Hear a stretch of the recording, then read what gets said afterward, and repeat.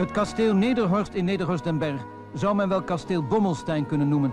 Nu er op basis van Marten Toonders levenswerk een film wordt gemaakt over wellicht de bekendste Nederlander van de laatste 40 jaar, Olly B. Bommel. Deze hoofdfiguur uit de stripverhalen van Toonder heeft in de loop der jaren wat andere contouren gekregen.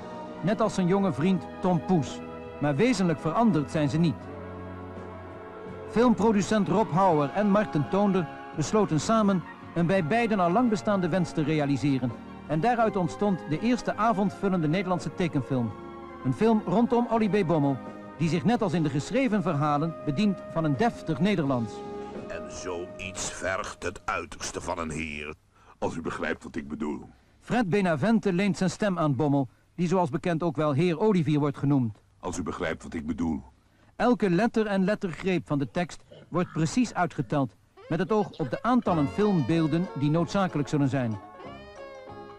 Chef-animator is Björn Frank Jensen, die met potlood eerst een groot aantal schetsen maakt om te kunnen vaststellen of de mond- en lichaamsbewegingen van de figuren soepel verlopen.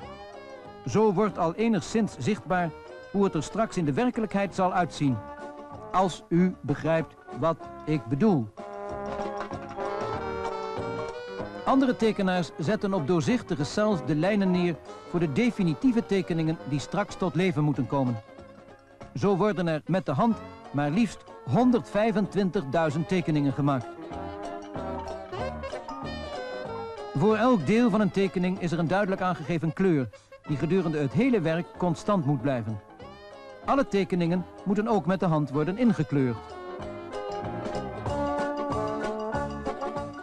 Bij de productie van de film, die drie jaar heeft gevergd, zijn zo'n 70 tekenaars betrokken geweest.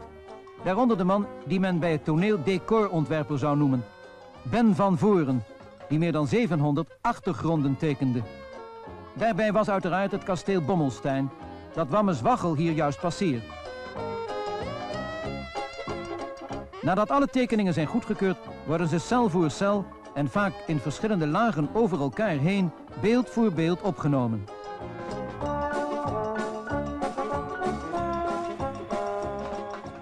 Ruim 125.000 opnamen voor een film van anderhalf uur die uiteindelijk op de montagetafel zijn vorm krijgt.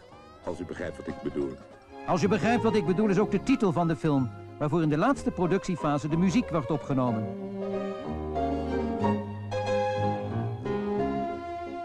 Tot slot een sprekend fragment uit de film.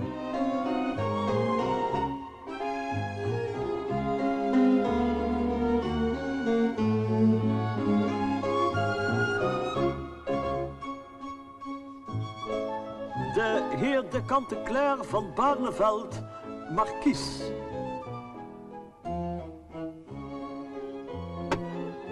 De heer Zielknijper, doctorandus en dame. Hallo, ik ben van de krant. Is uh, Bommel ergens? Ze zeggen dat hij een ei heeft uitgebroed. Wat hij in werkelijkheid heeft uitgebroed, zal straks in februari te zien zijn in de grote Bommelfilm. Als u begrijpt wat ik bedoel.